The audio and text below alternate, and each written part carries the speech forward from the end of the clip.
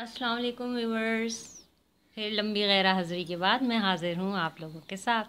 और आज मैं आप लोगों को दे रही हूँ review miss touch gold facial kit का। और ये जो है, मुझे ऑनलाइन मैंने बाई की है। थाउज़ेंड से ट्वेल्व हंड्रेड में आपको मिल जाएगी। मुख्तलिफ़ सेलर मुख्तलिफ़ रेट्स दे रहे हैं। मुझे ये टोटल ट्वेल्व हंड्रेड में पड़ी है विद कोरियर। तो इसका जो पर्सनल मेरा फीडबैक है वो बहुत ज़बरदस्त है पर्सनली और मैंने इसे चेक किया है, फिर मैं आपके साथ कमेंट मतलब रिव्यू दे रही हूँ। तो आज मैं आपको इसकी डिटेल्स बताती हूँ। इसकी सारी प्रोडक्ट टोटल एट प्रोडक्ट हैं। हर एक का रिव्यू बहुत ज़बरदस्त है। मैंने दो स्टेप में इसे अप्लाई किया है। पहले दिन मैंने इसको पहले ब्लीच क्रीम को अप्लाई किया। नॉर्मली मैं ब्लीच यूज़ नहीं करती, लेकिन मुझे एक फ़ंक्शन अटेंड करना था तो मुझे ब्लीच की ज़रूरत पड़ी तो मैंने इसका ब्लीच यूज़ किया। इसका ब्लीच बहुत ज़बरदस्त है।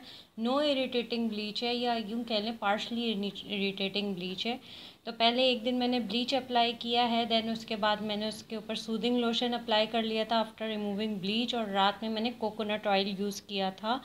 और फिर अगले दिन मैंने इसका फेशियल लिया है। इसका फेशियल का तरीक़ा यहाँ पे बॉक्स पे मेंशन है। एक दिन मैंने ये स्टेप वन किया, फिर दूसरे दिन मैंने ये स्टेप टू टू फाइव तक अप्लाई किया है और बहुत ज़बरदस्त और अमेजिंग रिज़ल्ट पाए हैं।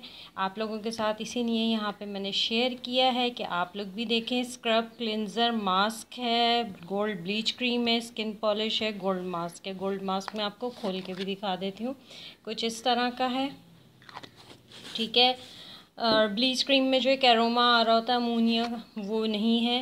Please like share subscribe my channel और वीडियो शेयर कीजिएगा अगर पसंद आए तो ठीक है? ओके अल्लाह